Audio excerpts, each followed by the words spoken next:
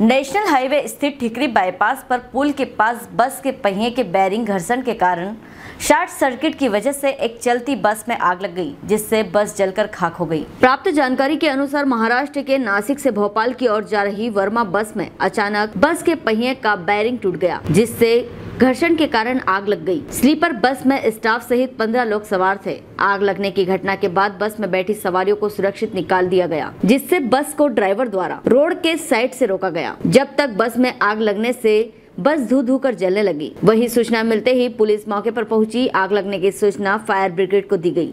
वहीं ठिकरी सहित धामनोद से फायर ब्रिगेड पहुँची, जब तक बस जलकर खाक हो चुकी थी। बताया गया कि बस में पीछे डिक्की में अनार और अंगूर भरे हुए थे, जो जलकर राख हो गए। भोपाल की ओर बस के द्वारा ले जाए जा रहे थे। इस दौरान यह हादसा हो गया। हादसे में कोई जनहानि नहीं हुई।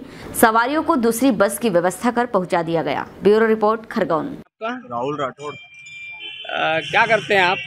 फायर ब्रिगेड चला था नगर परिषद में। रात को जो बस में आग लगी किस टाइम की बात है? आपको कब सूचना मिली? सुबह चार बजे। सुबह चार बजे। हाँ। आप गए थे वहाँ पर फायर फाइटर लेके? जी फायर फाइटर लेके गया था मौके पर जाकर। ठिकरी थाने से सूचना मिली थी मेरे को? अच्छा। ठिकरी थाने से सूचना मिलने पर मैं मौके पर जाकर फायर फाइटर लेकर आग पर काबू पाया। अच्छा अच्छा। बस की कंडीशन तो दिख रही पूरी जली हुई है? हाँ पूरी जली। बस में सवारी कितनी थी? सवारी बारह तेरह बता रहे। बाकी सब मतलब अंगूर और अनार भरे हुए ना? हाँ। ठीक है बहुत बहुत धन्यवाद। हेलो फ्रेंड्स आप देख रहे हैं हमारा channel S W twenty four news हमारे सारे वीडियो सबसे पहले देखने के लिए आप हमारे चैनल को सब्सक्राइब करें और पास में लगे बेल आइकन को दबाना बिल्कुल भी ना भूलें।